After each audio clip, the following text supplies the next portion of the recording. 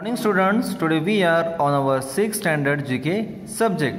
Today we will learn about lesson number 21 and 22. So let's see what's inside that lesson.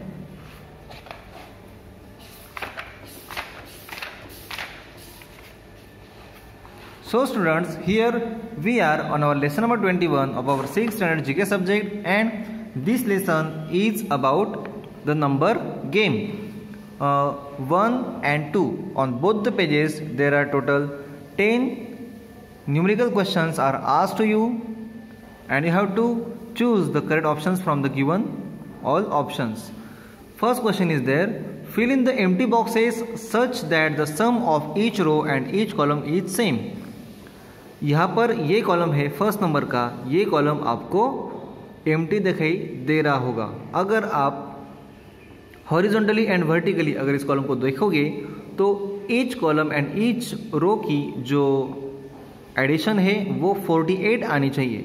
So so, यहाँ पर अगर उन्होंने 12 and 36 already दी हुई है सो so, उन दोनों का एडिशन आता है 48 then 22 plus two twenty and 24 plus 24 48 in the same way यहाँ पर आएगा 14 और उसके नीचे आएगा 24 14 plus twenty four thirty eight plus ten forty eight is the right answer then cross 12 plus यहाँ पर हमने लिखा था 22 एंड 14 इन तीनों की एडिशन आती, आएगी 48 देन ऑलरेडी यहाँ पर ज़ीरो है.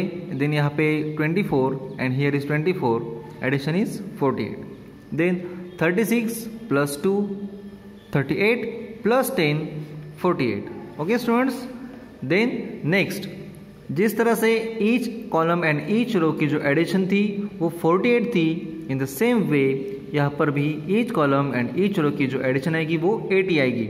और उसी तरह से हमें भी उसके आंसर्स लिखने हैं।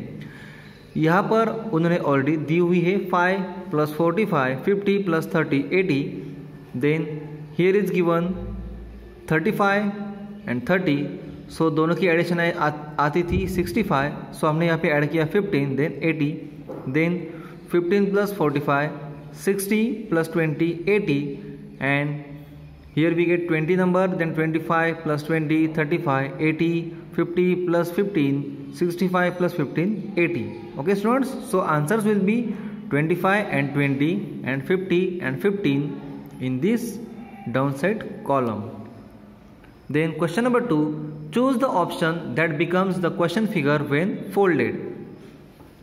So answer will be D. जब इसे fold किया जाएगा तब वो इस तरह की बन जाएगी okay then question number third if a b and c are natural numbers then first a plus b in the bracket plus c is equal to a plus in the bracket b plus c bracket complete is equal to, in the bracket a plus c bracket complete plus b. So, b, c, a, b.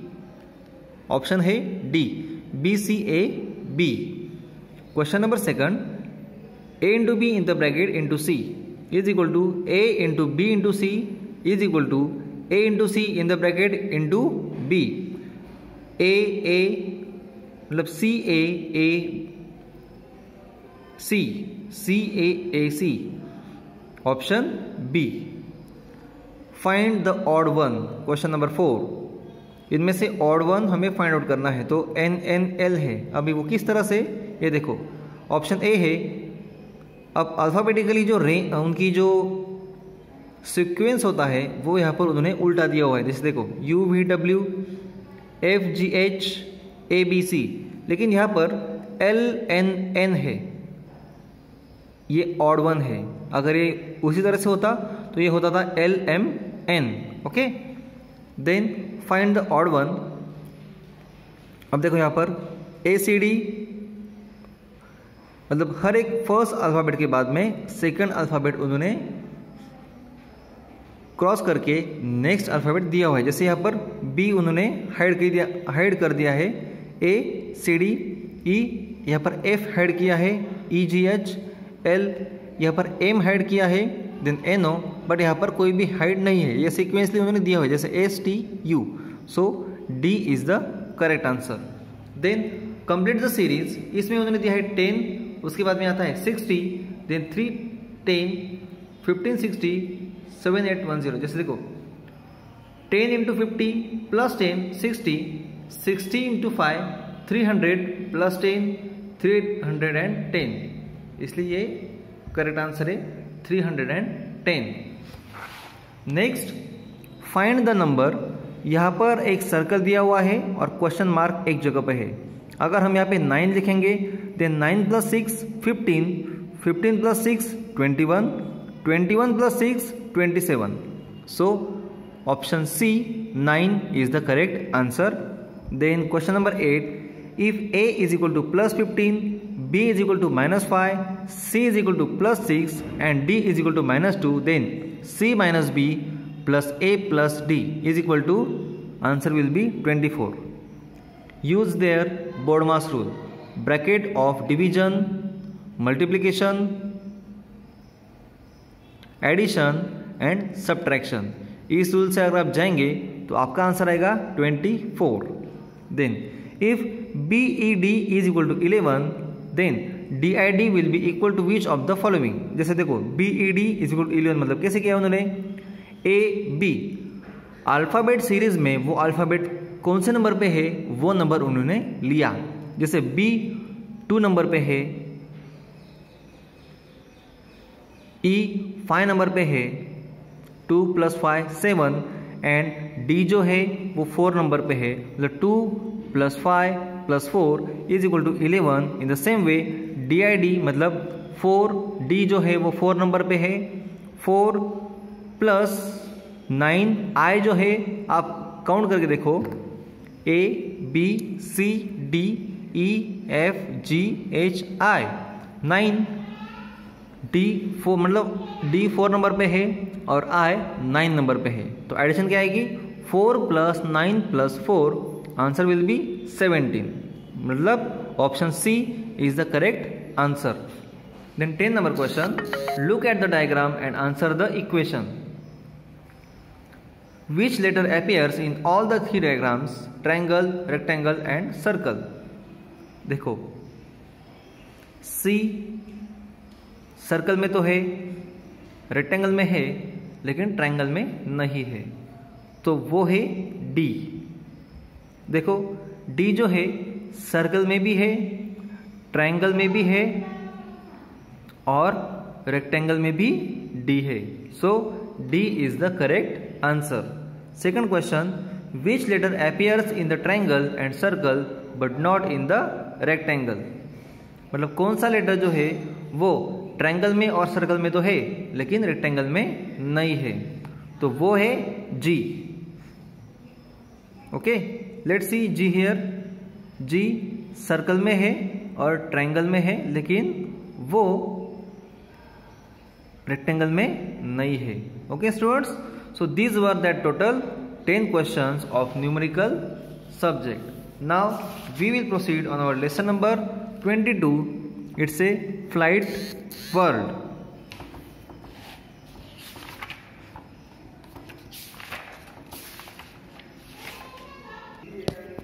This lesson is about the birds. There are various species of animals but only some can fly and are called birds. The birds see the world from the sky and return to land. They are lucky to see the best of both worlds. Let us get to know more about these feathered travelers. Use the help box and fill in the blanks. First question Which bird can rotate its head at maximum of 270 degrees. That bird is owl. OWL, owl. Next, which extinct bird was last seen in Mauritius? That bird was dodo.